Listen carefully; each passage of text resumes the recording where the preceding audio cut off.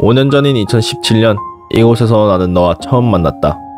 처음 너를 마주했을 때 어색하기도 했지만 마음속엔 설렘이 차오르고 있었다. 너도 그때 나와 같은 마음이었을까? 너가 기억할진 모르지만 처음으로 가본 건물은 인곡관이었다. 여기가 지하 1층인지 아니면 2층인지 어딘지는 모르지만 어떻게 빵집에 도착할 수 있었다.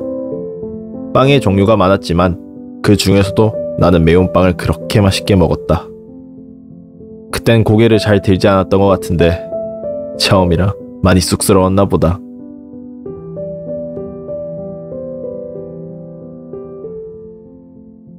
높은 계단을 올라가면 인문관이 있다. 나에겐 여전히 올라가기 힘든 계단이다. 인문관은 너와 내가 수업을 듣던 곳이었다. 이 길을 몇 년 동안 걸어와 봤지만 여전히 적응이 되지 않는다. 의자에 앉아 강의실을 둘러보니 우리가 열심히 수업을 듣던 기억이 스쳐 지나간다. 넓은 강의실에서 나는 교수님을 시선을 피해 잠을 잤지만 너는 이런 내 모습도 이해해줬었다. 교수님은 아니었지만 시험 기간이 되면 도서관을 자주 갔었다. 수업을 듣지 않았기 때문에 무엇을 공부해야 하는지 모르던 모습이 생각난다. 그래도 책은 점점 너덜너덜해졌던 것 같다. 그렇게 시간만 때우고 집을 가기 위해 밖을 나오다 도서관 앞에 있는 말동상을 바라보며 이런 생각을 했다. 저 말 위에 올라가도 될까? 지금 생각해보면 참 바보 같은 행동이지만 졸업 전에는 한번 올라가 보고 싶다. 넌 이러한 바보 같은 행동도 이해해 줄 거란 생각이 든다. 우린 학교 안에서 산책도 자주 했었다.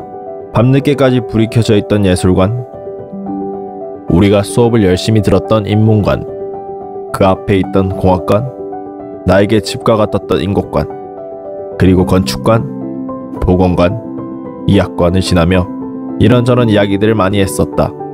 그땐 얼마나 하고 싶은 말이 그렇게 많았는지 같이 걷던 이 거리가 그리워지는 것 같다. 5월에는 축제, 10월에는 체육대회, 이 모든 순간들을 우린 같이 보냈었다. 축제 때는 맛있는 것도 먹고 연예인을 구경하며 대학의 문화 중 하나를 배웠고 체육대회에 참여하는 나를 너는 항상 응원해주며 지켜봐주고 있었다. 그때 우리는 참 행복했었던 것 같다. 하지만 그 행복도 잠시 우리에게 뜻하지 않은 이별이 찾아오고 있었다.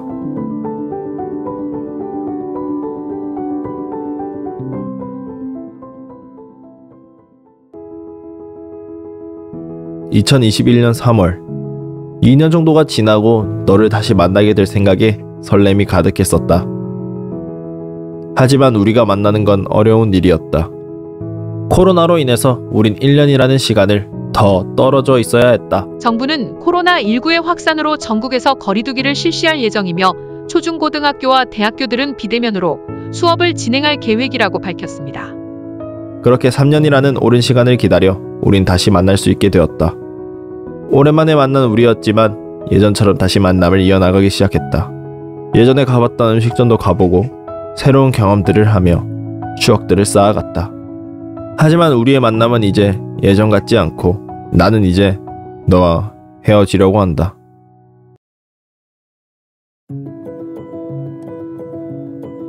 음, 군대 가기 전에 2년 그리고 갔다 와서 1년 3년 정도 맞는 것 같아요. 누구에게는 3년이라는 시간이 그렇게 길지 않을 수도 있지만 저는 정말 오래 만났다고 생각하고 되게 행복했던 순간들이에요. 저에게는 되게 큰 존재였어서 배울 것도 되게 많았고 그저 어리기만 했던 저를 많이 가르쳐줘서 항상 고맙고 미안한 게 크죠.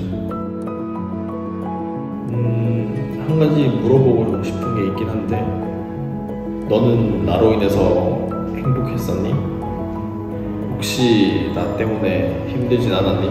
그리고 후회하진 않니? 그런 걸 물어보고 싶은 것 같아요. 되게 아쉬운 것도 많아서. 네. 그리고 하고 싶은 말은 다음에 나보다 더 나은 사람들에게 밝은 모습으로 도움이 될 수 있는 큰 존재가 되었으면 좋겠어. 고마웠고 사랑했다. 안서대학교.